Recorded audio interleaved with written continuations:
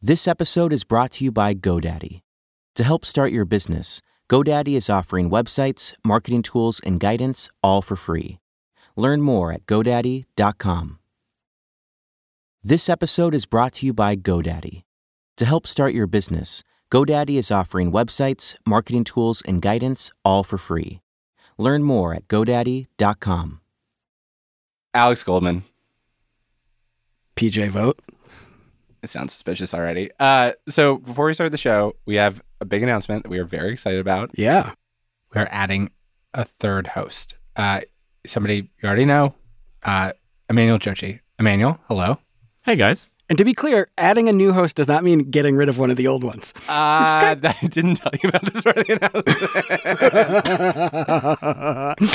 uh, no, we are not getting rid of any of our existing hosts, but we are adding Emmanuel as a host at Reply All. Uh, and basically, the idea behind this move is like we just want to give Emmanuel more space and support to do stories like the ones he's done, like big, ambitious reported pieces, like his three-parter on Alabama Democrats from the winter, or his story this summer about white people sending black people reparations on Venmo.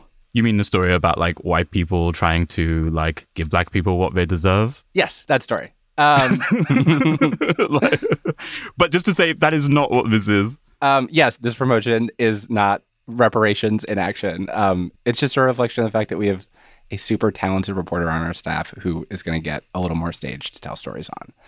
Oh, thank you, PJ. Yeah. Um, basically what you need to know as a listener is that the show is still going to be the show. Me and Alex are still going to be here telling each other stories, laughing at dumb jokes. You shouldn't necessarily expect Emmanuel in every single story. He probably isn't swooping into Yes, Yes, No unless he really wants to. We just want him to have the space to do more ambitious work. Um, I really hope people are even half as excited as Alex and I are about this. Anytime we've made any change to the show, some people freaked out literally after our second episode, there were people telling us that we changed too much and the old stuff was better. Is that uh, true? Yes. Yeah. They said that because we were doing stories about apps now and we'd sold out.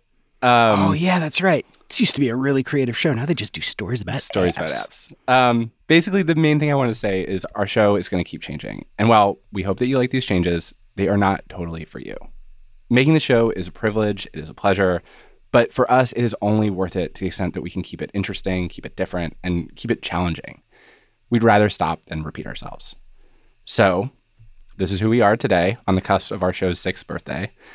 We've got a new host. Emmanuel, you want to do the From Gimlet? Yeah, yeah, yeah okay.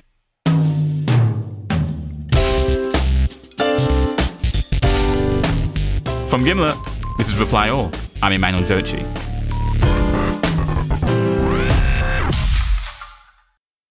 And uh, I have a real bang of a story for you guys today.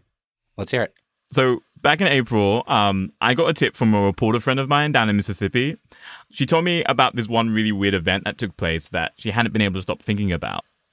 So, say your full name for me and what you do. I'm Alissa Zhu, and I'm a reporter for the Clarion Ledger. It's the newspaper in Jackson, Mississippi. And normally she's like pretty big investigative reporter. Like she reports on political stuff that happens down there, but also like their prisons.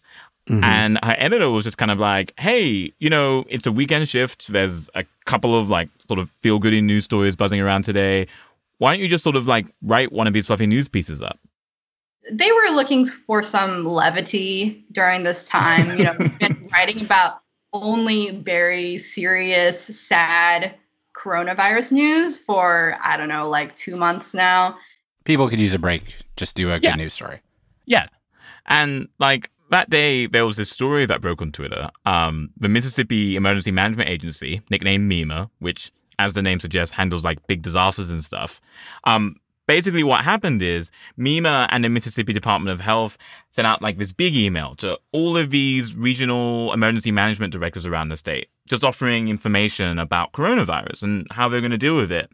Uh, and in particular, the email pointed to this one toll free hotline that people could call or should call if they wanted to report incidents of people not adhering to social distancing or like businesses operating that like shouldn't be.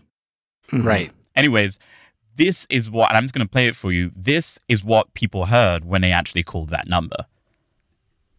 Welcome to America's hottest talk line. Hot ladies are waiting to talk to you. Press 1 now. Ladies, to talk to interesting and exciting guys free. Press 2 to connect free now. What is that? So, from what I've heard and just like read, right, uh, America's Hottest Talk line is a phone sex line, uh, albeit a very heteronormative one. You call and I think you get so many seconds free.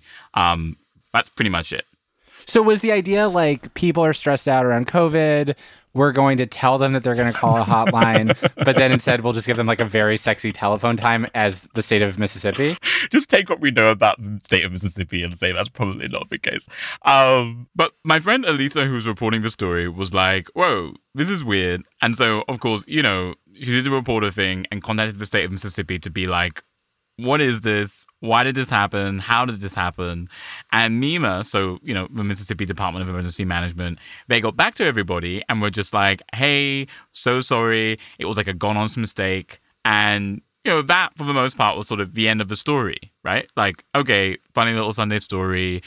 Did they point out, were they able to say, like, oh, you know, the, the, the phone sex hotline was like, One number two one off or like something. five five five one three three three. Our hotline was five five five one three three four. Like, were they able to say what it should have gone to? You know, that's actually weird in that they didn't do that. They- They just said that, Mm. like, the email was, quote, incorrect and directed callers to an inappropriate phone number. And that was kind of all they were offering. Um, but here's the thing like, Alissa, she Googled America's Hottest Talk line. just to see if I could find like the company that was behind it, basically. Uh huh. But instead of finding a company website, I just found like dozens and dozens of news stories from all over the country of other agencies or businesses making the same exact mistake. So, you know, I, I found an article about how after Hurricane Irma, FEMA put out a flyer for people that were looking for um, help after the hurricane. And when they called a number, it led to America's hottest talk line. When this happens, is it always the same phone number or is it different phone numbers? So it's always different phone numbers as far as I can tell. I haven't seen an instance where it's ever the same phone number. So America's Hottest Talk Line has also shown up in Maine. So like a couple years ago, um, the state of Maine's like Department of Health and Human Services like released like A new EBT card for like food stamps and stuff. And you know how, like, on the back of a credit card or something like that, there'll be a toll free number you can call for Yeah. like customer service or any questions? The state of Maine's EBT system sent out like a bunch of cards. Oh my god. And on the back of the card, if you actually called that number, America's hottest heard, talk line. Yeah, you, you got sent to America's Hottest Talk Line. Basically, you know, this hotline has popped up everywhere. It's sort of like this um this parasite, right? that has latched onto all of these different parts of the world that have no relation to each other at all. Like I saw headlines that said numbers for the Yankees, the Baltimore Police, Marvel, like all had at one point led to America's Hottest Talk Line. What the fuck is happening?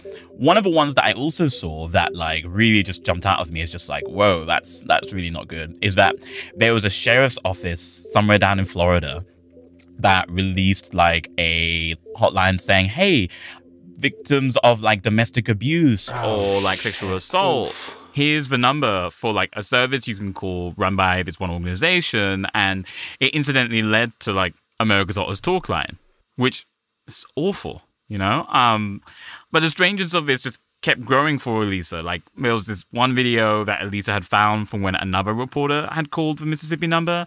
And in that video, there was like this one little detail that had jumped out to her. If you watch the video, it, it plays this message Welcome to America's hottest talk line. and then it'll automatically hang up as soon as the message is over. Press 2 now.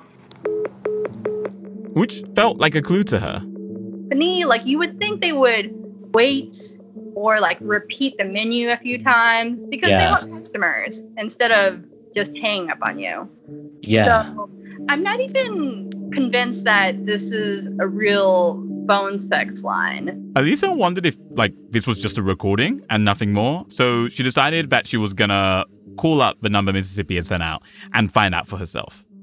I, I try to call that number and it led to some sort of message that said, like, this is a non working number in your area.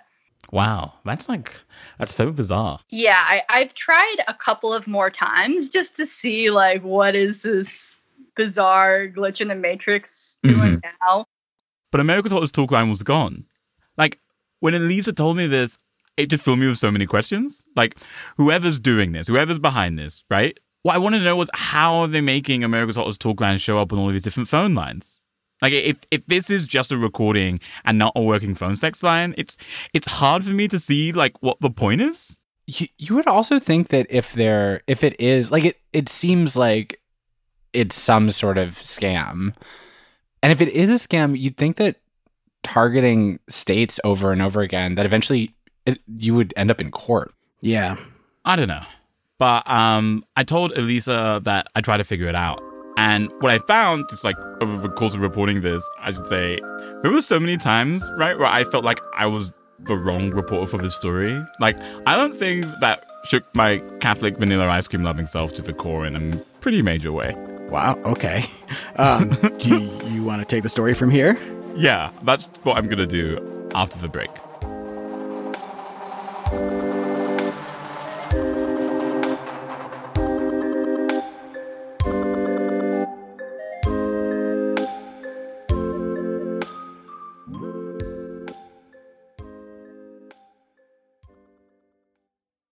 This episode of Reply All is brought to you by AFLAC. AFLAC is all about helping keep you prepared for life's surprises. AFLAC! Like that one. The unexpected is just a part of life. And that includes things like medical emergencies, such as illness or injury that you just can't predict. Most people don't know that their health insurance isn't designed to cover everything. That's why AFLAC exists to help cover the expenses health insurance doesn't cover. It acts as a safety net by paying you money directly unless otherwise assigned. So if you're worried about getting caught off guard with unexpected medical bills, AFLAC can help bring you an extra layer of financial protection. See how AFLAC can help with the expenses health insurance doesn't cover. Get to know them at aflac.com. This episode of Reply All is brought to you by Squarespace. Creating a website used to be really hard.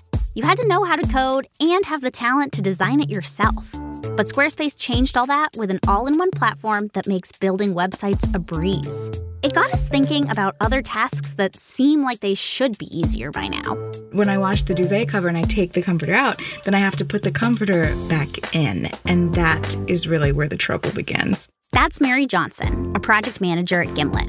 Because it's almost square, but it's not quite square. And so I make a guess as to what end goes in what corner. And that is inevitably incorrect. And it really is wrestling that comforter into the duvet. We're talking clumps of feathers.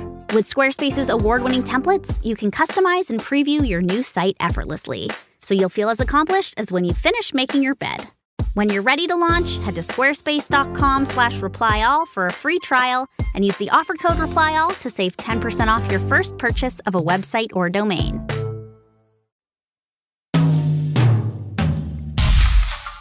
Welcome back to the show. So, the first thing I did after Alissa told me about America's Hottest Talk Line was call the number the state of Mississippi sent out. And it wasn't dead anymore. Thank you for calling. Are you or someone in your household 50 years or older? Press 1 for yes, 2 for no. This wasn't America's Hottest Talk Line. The number the Mississippi government had given out was now something completely different. Maybe I should just press. All right, I'll press. Thank you for calling the Medical Alert Center. This is Jessica on a recorded line. Can you hear me okay? Yeah, hi Jessica. Um, I just wanted to say, so my name's Emmanuel. Great. So, uh, with our promotion today, you actually have the opportunity to receive a free medical alert device. So, wait, wait, hang on, hang on, congratulations. hang on, sorry. Um, you know, Hello? it's that little button Hello? you wear around your neck that Hello? you press in case Jessica, of an emergency I just want to say, or I'm a, um, I'm a reporter. I'm now, a when you're participating This in our monitoring program, um, you actually can get Oh your medical God. alert absolutely free. I'd reached a service called Medical Alert, which, from what I could tell, was basically just a knockoff of Life Alert. You know, the help I fall and I can't get up company, which made me even more confused than I was before. Because, like, how had a COVID hotline been taken over by a phone sex line only to be taken over again by a weird knockoff medical device company?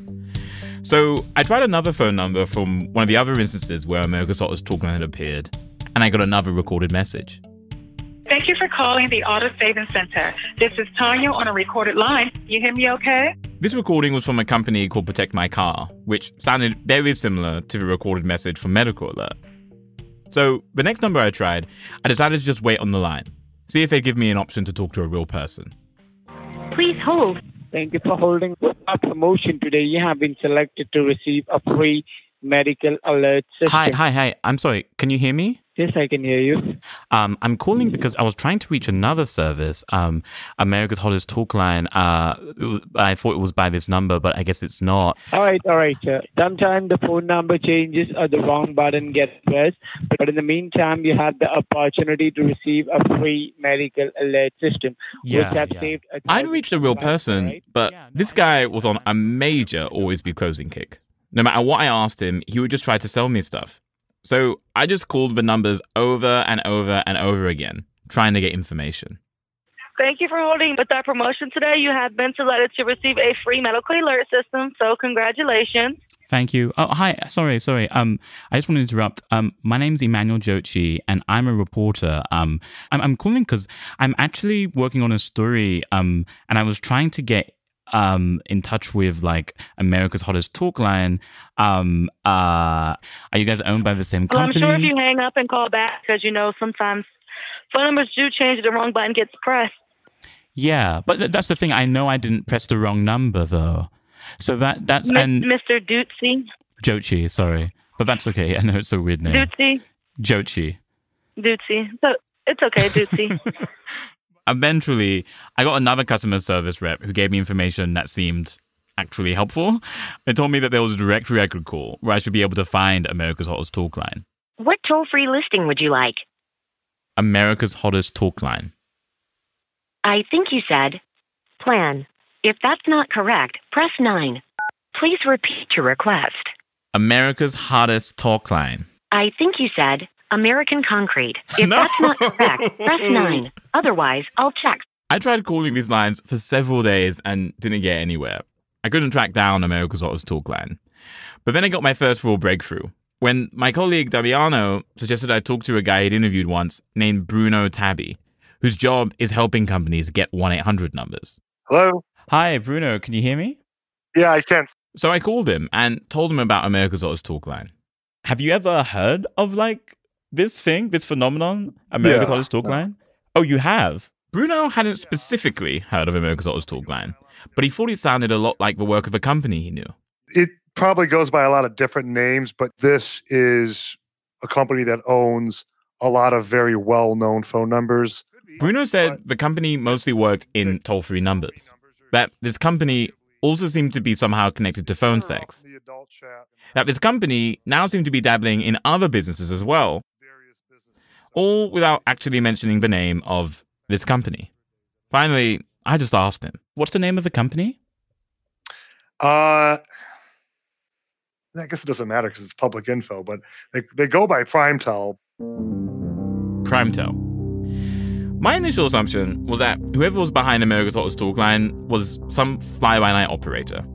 Like some nerd somewhere having way too much fun with phone tech. But Bruno was like, no, no, no, you're thinking about this all wrong. If the culprit is Primetel, this is no joke.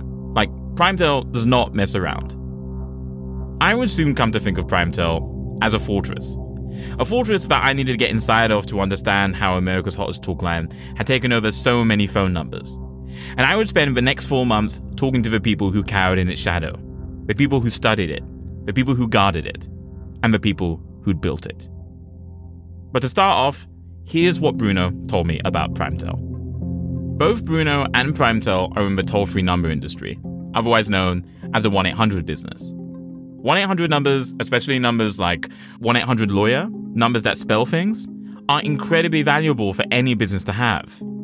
And so they pay companies like Bruno's business to go to incredible lengths to get certain numbers for them. Any numbers that are really valuable, they're not just like low hanging fruit where you just maybe get them. Like we've bought businesses just to, because we wanted the phone number. Wow. And yet somehow, in this industry where 1 800 numbers are so, so hard to get, Bruno told me that Primetel had a crazy number of them. They're a behemoth. it owns, uh, I believe the number is about 25% of the 800 numbers. Oh my god. How much is that? Like, how, what are we talking? Millions. Millions. Millions of phone numbers. Yeah. That fact, that Primetel controls millions of toll free numbers, that's all I could learn from Bruno.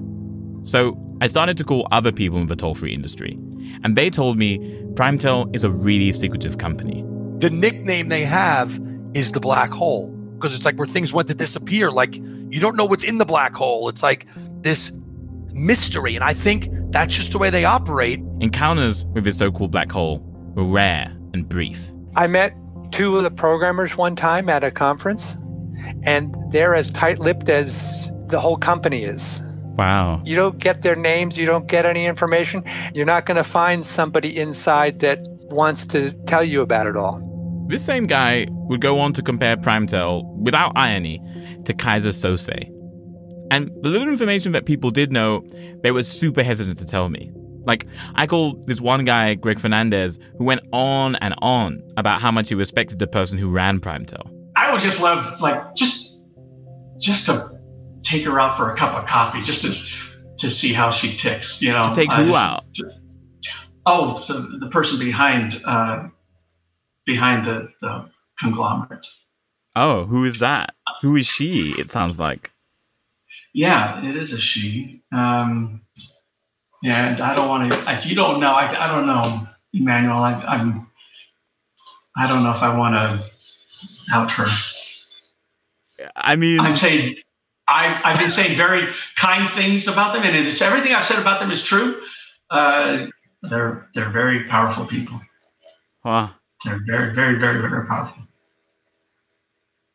Like, just I don't know. I guess I want to. I don't want to make you. I don't want to. Like, am I putting your business at risk by asking you to go on the record about this? Is like that kind of power thing? I I I don't yeah I don't want to you know um, yeah I don't want to rock the boat. How's that? Who was this mystery genius woman? And if she was behind America's Hottest Talk line, taking over all of these toll free numbers, how exactly was she and her company doing it? I kept having visions of some nondescript office building somewhere, like far from prying eyes, filled with the sort of employees you meet at DC happy hours, whose answer to what do you do is to vaguely say that they work in consulting, even though you know and they know that there was a lot more to their job and they have a lot of power over your life. I searched online for any scrap of information about Primetel. They have no website, no Facebook page. There was one red herring, a company based in Cyprus called Primetel. It was not them. But then, after digging through some legal documents, I realized that my Primetel seemed to have a whole network of different aliases and partner companies, all with very generic names like National A1, Mayfair, or Zipline. And I began searching for people who worked for those companies. That's how I found a woman I'm going to call Evelyn. Hello. Hello. Hi. Where am I talking to you? I'm in beautiful Philadelphia, East Falls neighborhood. And uh, this is my office Nice. um, where the magic does not happen ever. Like Bruno, Evelyn told me she'd never heard of America's Hottest Talk line specifically. But it sounded like the kind of service Primetel might run. And Evelyn knows this because she's worked for National A1 and Primetel in a range of capacities for more than 25 years. In fact, she says she helped create it. Although when she joined, she had no idea what she was getting into. The year was 1992. Evelyn was living in Philadelphia, and she just graduated college. I'm working as a librarian making bank, obviously. So I'm looking for shit to do. And I see this ad in the paper, in the city paper. And it says, I remember back page. It was really kind of, anyway, you remember. Um, but uh, so it said, um, we're needing uh, romantic fantasies. Romantic fantasies? Romantic fantasies. This is just this ad asking for romantic fantasies. The people who'd posted the ad needed at least 10 fantasies and were offering to pay 10 bucks for each one, which to Evelyn felt like easy money, especially since her grand plan was to plagiarize from a book of 1970s romance fantasies. But by the time Evelyn got around to calling the number in the ad with her stolen fantasies, they were no longer looking for people to write them. They were looking for people to read them, which to Evelyn felt like even easier money. So, Evelyn scheduled a time to go in and read at this company's offices. Only when she went in for her audition, she realized it wasn't your typical workplace. So describe to me like the day you walked in, like what it looked like and stuff. Oh my gosh. So you pretty much walk in and they have to buzz you in because it's like killer thick glass. This place was like a little door. The window that you see from the street is just cluttered with watches and and jewelry and bo- just junk. Oh, so you went into like a pawn shop. Yes. Were you surprised when you walked up and you're like, oh, this is just like a Oh. watch shop? I was fascinated, and and it was it was just. Uh, um, and then here's the funniest part is that there's a, uh, this old man, like super old man, on a, a elevated stool, like slumped over, like drooling into his chest, essentially. Just this a sweet, adorable, like like he looked like a sunken mushroom of a man, just sort of collapsed on himself. and I walked in, and I thought maybe he was the guy I was supposed to talk to because I'm an idiot, and he's the first one. So I just sort of walked up, staring at him, and then someone's like, "Yo, yo," and they're talking to me behind me, and I'm where? Who? Who am I talking to? So when I turn around, and the next thing I know, I'm walking down this this dingy stair, and I'm in this weird office that's like very low ceilings, and and there's these pinups and teddy bears everywhere, and she's What? She just like into a basement filled with pinups and teddy bears? Yeah. It was here in the Diamond District of Philadelphia, in the strangely decorated basement of a pawn shop called the National Watch Exchange. That is, pawn spelled P A W N. That an empire would eventually be born. The owner of National Watch Exchange was a man named Richard Cohen. Years later, he would become the co owner of Primetel. But back when she met him, Evelyn said Richard, he was just a guy looking for the next big way to make money. She said Richard looked like George Thorogood, which, according to my favorite editor and resident expert on white guys from the 70s, Tim Howard, means Richard Cohen looks like the dude who sang Bad to the Bone.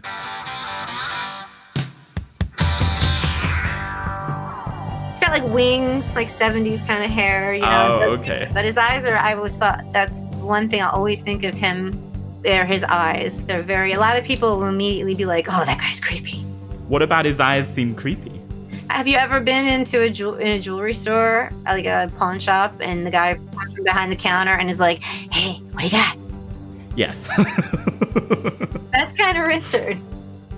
Richard, says Evelyn, was constantly on the hunt for things of value. He was a collector. And those teddy bears that line the basement, those were the crown jewels of his collection. They're his babies. They're his children. He loves his bears. like, and these are just like teddy bears. They're Steiff. What is a Steiff bear? It's the Rolex of teddy bears, my friend. You look up, they're expensive. Is people pay like it's ridiculous. They've been making bears in Germany for like uh, over a hundred years. Oh my God. Bear. Look Sorry. that up. Did he have names for them? Yes. And and and lives and every I didn't realize this at the time. I've learned this since. But yes, it's real. It's hardcore. Like he loves his bears. He loves loves his bears. In addition to loving his bears, Evelyn described Richard as a bit of a recluse. You'll never get him to talk to you, she told me. And she was right. Richard didn't respond to my letters, calls, or emails. He didn't talk to me for this story. No one officially representing Primetel did either. Anyways, according to Evelyn, back in the early 90s, Richard was firmly in his pawn shop business, running it with his brother, when he realized that there was another way he could make money off of customers who frequented the store. one of the problems with um, being a person who didn't have a whole lot of um, money back in the day is that you couldn't get a phone because phone companies needed you to have an address and needed you to have a bank account and all sorts of other stuff. Evelyn says Richard saw these folks needed phone lines and came up with an idea. He bought a voicemail system and had it installed in his basement. And how it worked is that Richard could rent phone numbers out to his clients, only they couldn't make calls on those lines. Instead, people would call them at their number and leave a message. So if you a lot of people who were kind of shady or a lot of people like this is what they did is that they had a, you know a block of different numbers and oh that's the number where I'm a insurance adjuster and that's the number where I deal out of and so they they had a system like that and we and it was very cheap it was like 10 bucks a month for a mailbox. Wow. So people would just come in with their dollars and whatever.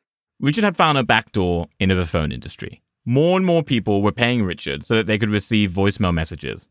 And it was around this moment, Evan figures, Richard might have had another one of his, there's a way to make more money moments. This is just me, but I think he he's nosy as all get out. So I would imagine he's probably listening to the messages and realized that a lot of people were meeting, and that probably gave him the idea. He's like, ah, this is kind of computer dating. So he bastardized a voicemail system and tinkered with it and got it to work as a personals system. That's kind Instead of of- smart. It is. It really is. Once Richard created this personal service, he asked Evelyn to be the new voice of his fledgling phone system.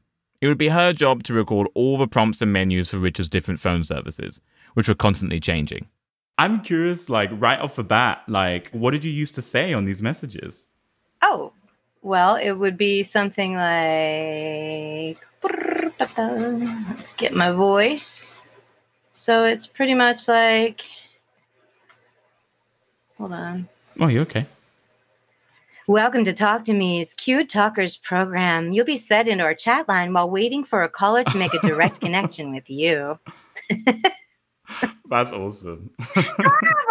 No, don't encourage me. Richard took his personal system and created a service called Philadelphia's number one dateline. People would pay to leave each other voicemail messages. I talked to a woman who helped moderate this dateline. She told me that it was popular with people looking for partners with like minded fetishes and fantasies. I wondered if maybe this was a really early incarnation of what would become America's hottest talk line, except without the phone sex. Evelyn told me Richard expanded the dateline beyond Philadelphia, went regional, and then went national via 900 numbers, which is where a lot of adult content was back in the 90s. Using 900 numbers, though, was becoming a bigger and bigger problem. Parents were freaking out because they didn't want little Johnny calling up weird date lines, fetish lines, or phone sex services. Let's send one single clear message to the industry, to the parents of America and the people of America. So lawmakers started introducing bills. Approach. We do not want, we will not allow, we will not tolerate dial up porn in this country. Bills designed to crack down on 900 numbers. It felt like the end for 900 numbers was nigh, and it was clear Richard needed to find another way to make money. So he got a business partner who would help him do just that. That partner was a woman named Sandra Kessler. She was a so called genius I heard rumors about from industry insiders. Oh, she's such an interesting character. Oh my god. She's a she's a demon. She could get whatever she wants. From what Evelyn told me, Sandra had big hair like Fran Drescher and talked in a sort of frenetic kind of way that might give a person an anxiety attack. And if Richard's great love was teddy bears, Evelyn said Sandra's was somehow even more unexpected. She's a robot collector. That's how she got started. A robot collector. A robot collector. She would go to um, flea markets and things like that, and she would just know what to pick that would be worthwhile. And it, she made like gobs of money just knowing what to grab. Richard trusted Sandra's business savvy unconditionally. And Sandra, confronted with Richard's 900 number woes, had an idea. Sandra wanted to start a new company, and it was actually a type of company that had only just been invented, called a responsible organization, or RESPORG, which, of course, is the most generic, boring name. Anyways, these RESPORGs, they were a special kind of phone company that managed and distributed toll-free numbers. You see, a few years earlier, the FCC had tasked a small group of people with overhauling the entire toll-free system. It took years to get every detail right. I was fortunate enough to be in that whole design, and one of the things we designed is what became RESPORGs. Wow, so you're one of the like designers of this current system, basically. Yes. Wow, Yeah. okay. There were about 10 of us around the country that designed the whole system. Whoa. Okay, so I have so many questions for you about the system. This is Aelea Christofferson, toll-free industry legend. So I'm curious, just in the system that you designed, like if I came to you in 1993 or 1994 and was like, okay, I would like to get hooked up with a toll-free number, what would the pathway have been? It's the same today. Okay. You contact your RESPORG and say, I want 800 lawyer, Yeah. You know, a number like that. The RESPORG determines whether it's available. If it's spare, which is what they call available, then the RESPORG reserves the number right then. Yeah. And then nobody else can have the number. So let's say, I don't know, a taqueria wants 1 800 burrito. They have to go to one of these RESPORGs, maybe a big phone company like Verizon, maybe a smaller outfit. And if a number's available, the RESPORG will get it for them from a big pool of available numbers. All the taqueria have to do is keep paying their monthly phone bill to the RESPORG. To be in the phone business in the mid 90s was to be in a bona fide 1 800 number feeding frenzy. Everybody wanted a number that spelled something, and RESPORGs were only too happy to oblige. Each 800 number was incredibly cheap for them to grab, but businesses were so desperate, they paid good money just to get them. So RESPORGs were popping up left and right. And even though Aelea and her colleagues had tried to hammer out every last detail of how RESPORGs would work, there was one major flaw in their design. We thought the only people who were going to be RESPORGs would be the big long distance and local companies. So at most, we'd maybe have 30 RESPORGs. Well, you know, there's over 300 RESPORGs. Wow. Over 300. Yeah. And that was never the way we visualized it. I don't know. On the one hand, it feels like you guys were so meticulous in designing the system, but the thing you didn't account for seems so shocking to me that like people would find a way to make money off of this. We didn't really design to that. We talked about it kind of on the fringes, and somebody says, I don't know what kind of money grubbing little company would become an independent RESPORG. Turns out, a money grubbing company headed by a robot collector and a teddy bear lover. Back in the Diamond District of Philadelphia, Sandra and Richard decided okay, we want in on this. We're going to make our own RESPORG, grab some of these 800 numbers, and use them all for our chat lines. And then we'll have people pay by credit card to use them. We'll make a killing. Richard realized that all those numbers are worth something. If it spells anything dirty, that if you look at the traffic at the time, there were men that just sat around spelling out dirty words on their phone, wondering if it was going to be somebody saying something dirty. Really? Yeah. That RESPORG, the phone company they created, was Primetel. Primetel was run by Sandra. And as she got more and more numbers for Richard's datelines, Richard realized he could be making even more money. And a few years later, in 2000, he expanded his business into phone sex opened a new call center and moved his entire business to a whole new building. Which was a weird move at the time because the few surviving phone sex companies were actually downsizing, asking phone sex workers to work remotely. But Richard's gamble paid off.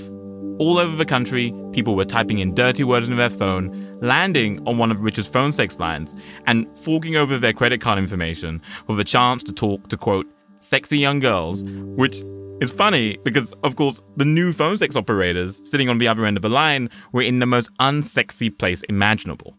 What did the space, what did the office look like? I'm just so intrigued to know, like, what was the setup?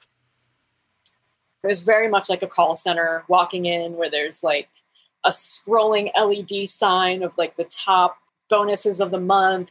There's seasonal decorations up. I started in July. So there were like palm trees and leis and like beach balls around.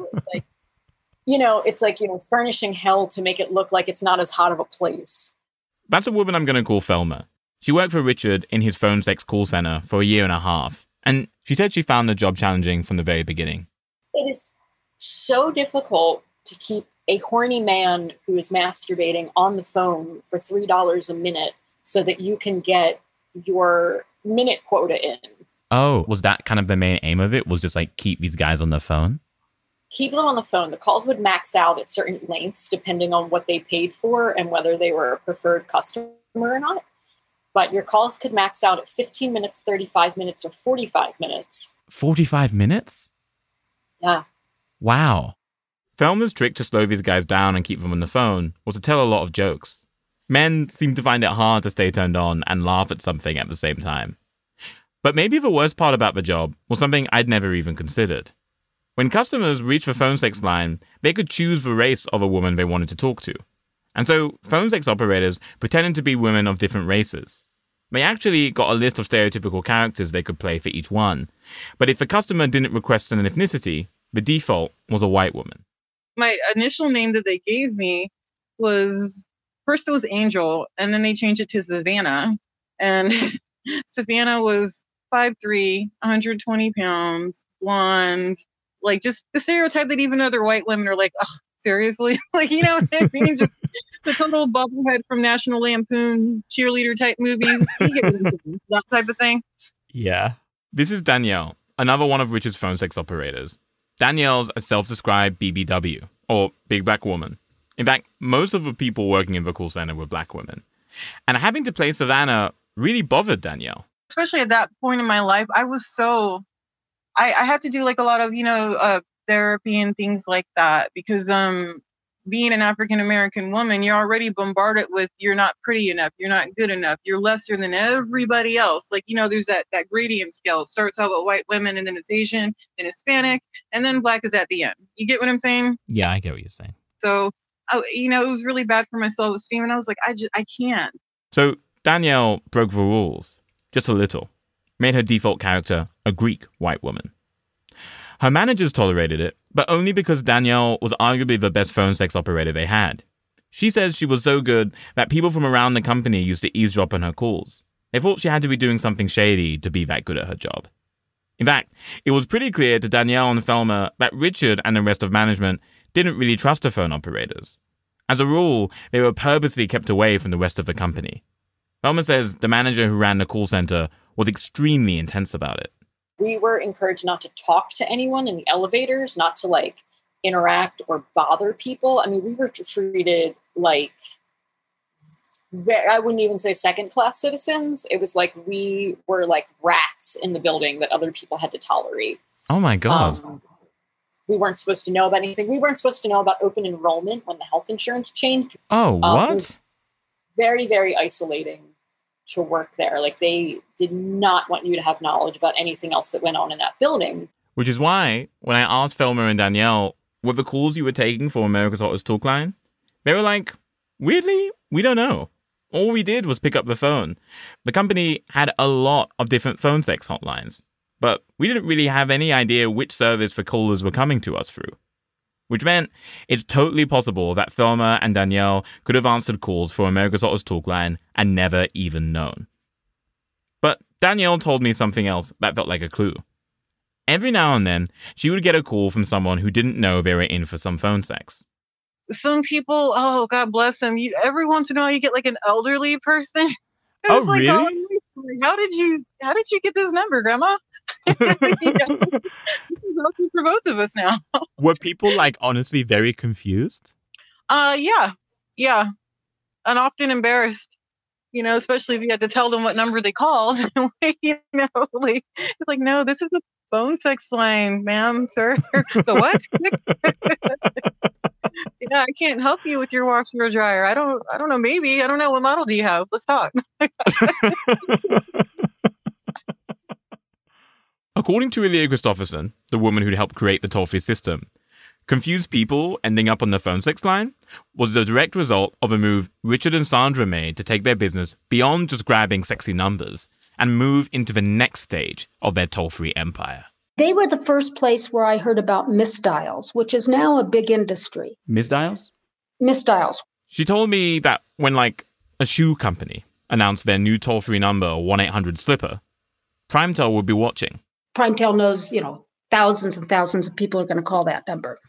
So they get the number maybe right below it. You know, they get one that's really easily misdialed. Yeah. And they probably get the numbers, all of them that are around a number, you know, anything that that can cause somebody to easily misdial. In the past, Primetel has denied that they have a misdial strategy. But multiple experts in the industry told me otherwise. What these experts told me is that back then, most RESPORGs assumed that out of the millions of toll free numbers out there, only a small percentage, the ones that spelled things, were truly valuable. The others, well, they were a dime a dozen. It's almost as if Sandra and Richard realized, oh, no, those ordinary looking, unremarkable numbers are actually super valuable because of misdials. Now, of course, maybe only one out of a thousand people who call your number by accident will stay on the line. But if you have, say, millions of phone numbers, you're looking at a small fortune. What I know for sure is that Sandra dedicated a whole floor of Richard's building to Primetel and filled it with computers. A woman who used to work as an assistant to Richard, who I'm going to call Shelley, she hated going down there. What did it look like, their floor? Oh my God. It was lots of computer equipment. I don't know the tech at the time, but I, I, I that was probably one of the reasons why it was so fucking cold down there. Because some big computer servers were probably down there. It was like the offices were like purposely Voldemort creepy. It was bizarre. They, it gave this overall ambiance of of trolls uh, digging in mine. As Voldemort creepy as Primetel's setup was, their technology gave them a real advantage over the competition. While other RESPORGs had employees dutifully requesting numbers one at a time, Primetel had computer programs grabbing numbers in bulk. And these phone numbers they were grabbing, they weren't only brand new phone numbers that had never existed before. They were also phone lines people thought were still theirs, that they'd lost because they'd forgotten to pay their phone bill at some point. Eventually, though, these people realized they'd lost their phone lines and were very confused.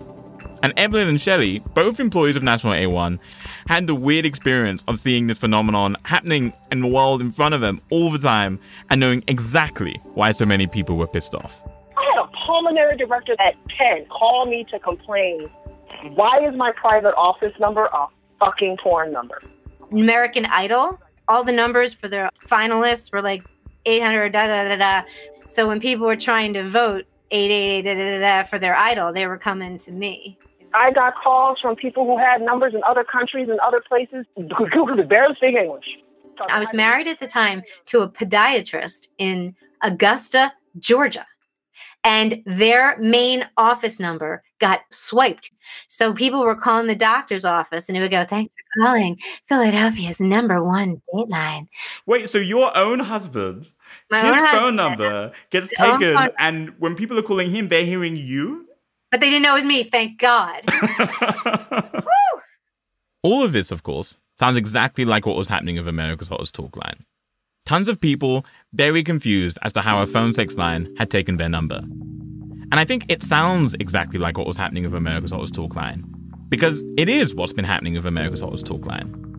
I am now confident that when Mississippi put out their COVID line, one of two things could have happened, both totally legal. Some poor soul I'm going to make up in the Health and Human Services office, I'm going to call them Zach, might have misprinted the number by like one digit when they wrote their email. And Primetel, because they have so many millions of toll free numbers, they just happen to control the number that our man Zach inadvertently emailed to tons of important people. Or, Zach, bless him, actually didn't make a typo. He published the correct phone number, but he did so without realizing that a month earlier, Earl, in accounting, hadn't paid the bill for it. And in the meantime, Primetel, ever seeking new numbers to make its strategy work, snapped it up without anybody realizing it. I know Primetel did at least one of those things, because with the help of my new RESPORG friends, I was able to search the database of toll free numbers, find out which RESPORG controls the number Mississippi sent out, and lo and behold, that RESPORG is one of Primetel's partner companies, and is registered under Richard Cohen and Sandra Kessler. Primetel was the reason that number and so many others led to America's Hottest Talk line. But there was this thing that didn't make sense. It's 2020. Phone sex is not what the libidinous young people of America are turning to. Thelma told me that National A1, which is company, was hit really hard by free internet porn. And in 2015, she and tons of other people got laid off.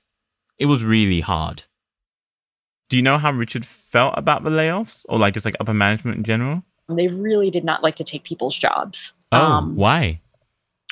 I don't know, but I mean, I don't think they wanted to get rid of people until it came down to like, we're just not making the money that we used to make, so we can't sustain more people Hmm. um, than is than is beneficial. But you know, that was the thing is we weren't competing against competitors who did had similar products. We were competing against free. From what I can tell, this glut of free online porn sites meant Primetel, yet again, had to find a new way to make money with their millions of phone numbers, which explained the different services I found when I tried to reach America's Hottest Talk line. Thank you for calling the Medical Alert Center. Thank you for calling the Auto Savings Center. This is Tanya. I think Primetel's alleged misdial strategy is still going on. The crucial difference is that now they're renting out phone numbers to businesses like Medical Alert and Protect My Car. So, why is it that every once in a while, a dinosaur of a phone sex line like America's Hottest Talk line pops up?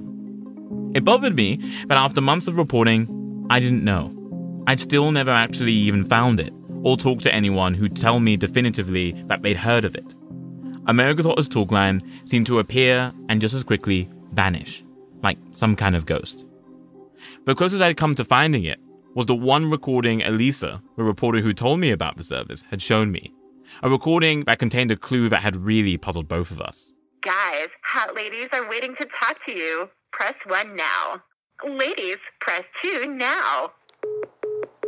The fact that America's Hottest Talk line didn't seem to actually go to a phone sex line, that the service hung up on you after playing a short recording, I eventually came up with a theory about that. According to an industry insider, if you're a RESPORG like Primetel, you can't just grab numbers and hoard them. A service needs to be on each and every toll free number you have, or else eventually you could lose it. So I thought it would make sense that if Primetel wanted to cover their bases and make it look like they were really using numbers they didn't have services on yet, they'd have to put something, some sort of placeholder on the line. And in this case, they'd used a recording. But my producer Anna, thank God for Anna, she wouldn't rest until we knew for sure that America's Hottest Talk line was a fake. So she came up with a brilliant idea. To find an antiquated, possibly fake business, we needed to use antiquated methods.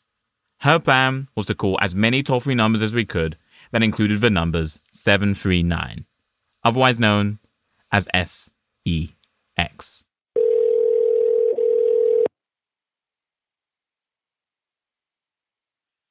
Welcome to America's hottest talk line. Oh my God. Guys, hot ladies are waiting to talk to you. Press one now. Ladies, to talk to interesting and exciting guys free. Press two to connect free now.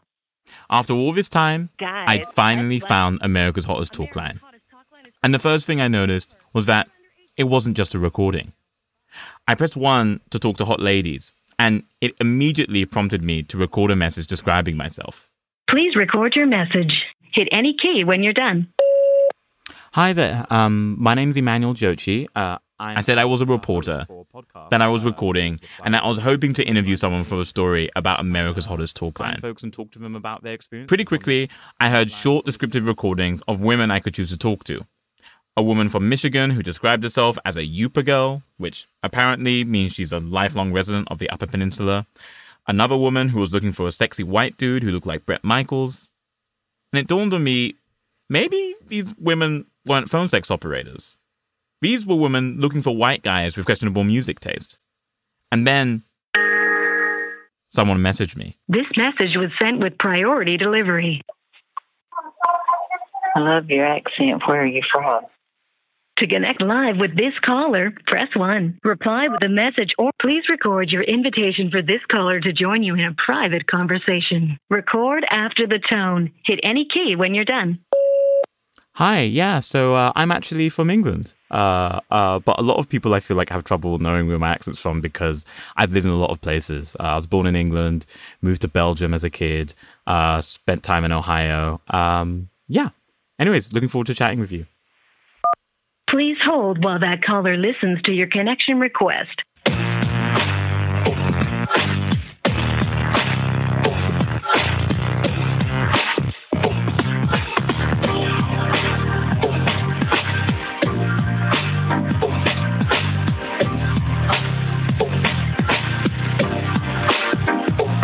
They liked what they heard and they're ready to connect with you.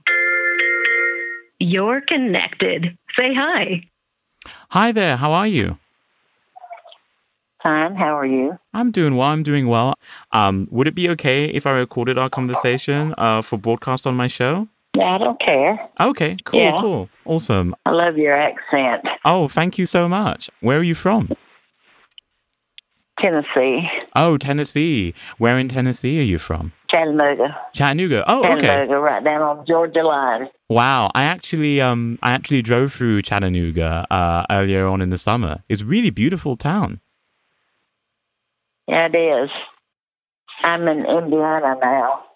People say, "Why did you move to Indiana?" I said, "I got stupid. You got stupid? I got got crazy." this is Jean. She's 77. She told me she heard about America's Hottest Talk line through one of her friends, and she very clearly is not a phone sex operator. Can you just tell me about this service? Like, what is this uh, line about? Like, is it is it like a, a date line? Well, kinda. You can you talk to some nice people. You talk to some filthy mouth guys. They're all the time wanting to know if it's true what they say about redheads. This guy sent me a message and to if the carpet matched the drapes. I went back to him and said, No, the carpet's green. Did he respond? No, he didn't say he didn't say a word. There's married men on here. There's some guys looking for a female to be with him and his wife. I thought you were crazy, bud. You're not here for that. No, And what what are you here for? What are you looking for? Just see if I can find a friend to talk to. hmm Somebody that doesn't have a filthy mouth.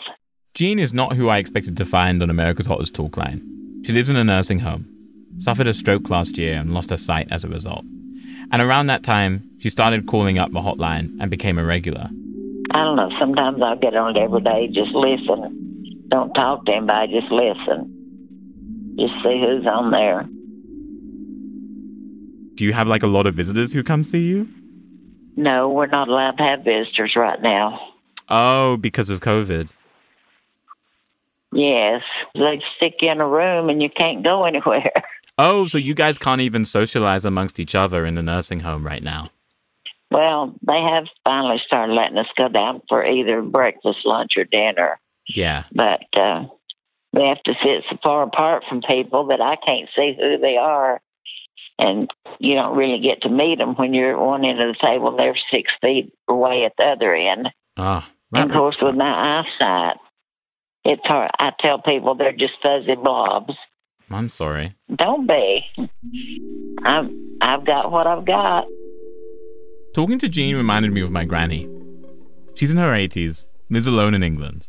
She actually has one of those medical alert devices, refuses to wear it though, which is a major problem because she falls from time to time. I spoke to her the other day, and at first I didn't get through because she was on another call. She always seems to be on another call talking to some friend or family member. I think it's what's made these last few months of being unable to leave her house bearable. Talking to people.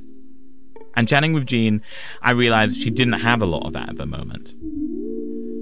I've been sort of half right about America's Hottest Talk line. It wasn't a phone sex line, or even a dead end recording. Maybe it was a placeholder, a near zero overhead, unstaffed callback to Richard's first innovation that Primetel only brought out when they needed to call dibs on a line. But it was performing a service. It kept people like Jean company. It was a tonic for the lonely.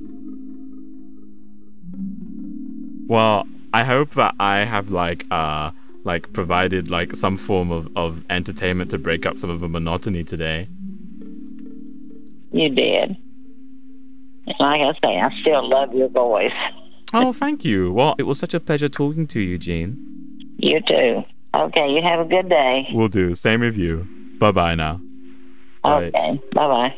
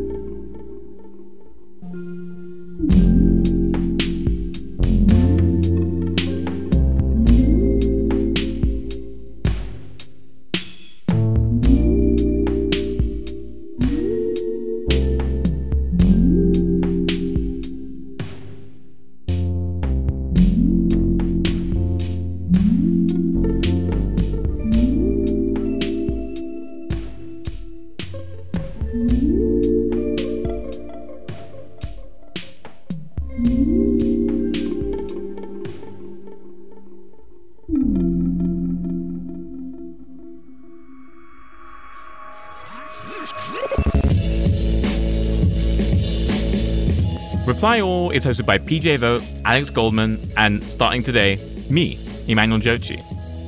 Our show was produced this week by Sruthi Pinnamaneni, Thea Benin, Damiano Marchetti, Anna Foley, Jessica Young, and Lisa Wang. Our intern is Mohini Madgavkar. Our executive producer is Tim Howard. We were mixed by Rick Kwan. Theme song and original music by Breakmaster Cylinder. Fact checking by Michelle Harris. Additional music production by Mario Romano. And original music by Luke Williams. Special thanks today to Teresa Apel, Joel Bernstein, Paul Faust, James Brown, Mike Connors, Mo Tarsic, and Lena Masitsis. Matt Lieber is snuggling up to watch an episode of Girlfriends after a very long week.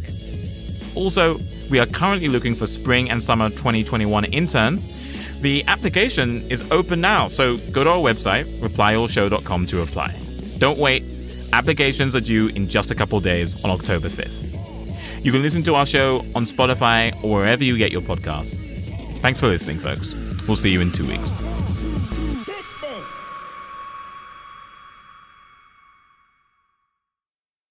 So, what happens on this podcast, Alex? The podcast is going to answer the following question What do we need to do to address the climate crisis? And how do we make those things happen? We're going to be answering that question on this podcast every week from now until.